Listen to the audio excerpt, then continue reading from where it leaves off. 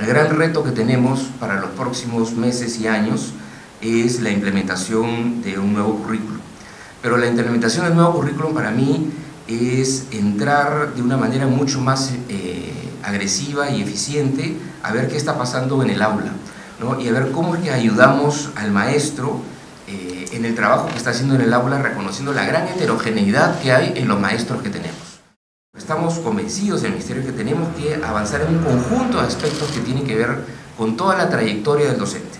¿no? Desde un primer punto, la atracción de los mejores ¿no? a la carrera docente, es cambiar el chip social del, del país. Segundo es cómo formamos a los que atraemos. Ya los atrae, le dices, uy, mira qué bonito es ser docente y además va a pagar más ser docente. Tercero, hay que incorporarlos a la carrera docente, tener un filtro para asegurarte que sean buenos. Cuarto, nos tenemos que preocupar de la formación en servicio de una manera completamente distinta. Y quinto, ¿no? continuar todo el tema de evaluación y ascensos dentro de la carrera.